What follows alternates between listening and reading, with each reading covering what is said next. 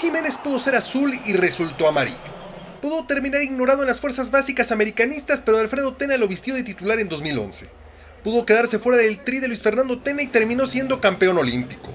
Pudo quedar derrumbado en la eterna suplencia de las Águilas ante la llegada de Narciso Mina, pero terminó como goleador consolidado, campeón con América, con un lugar en el Tri en Confederaciones y único seleccionado que repetirá en la Copa Oro de este julio.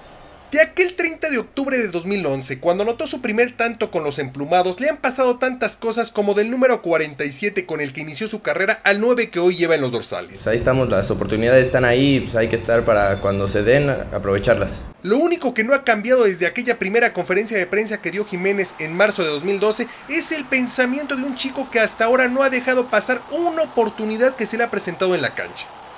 El Trico Paoro es su más reciente chance precisamente en el momento que más necesita la selección de goles, esos que tiene monopolizado con Gotero el Chícharo y que Jiménez quiere demostrar que de ese negocio sabe.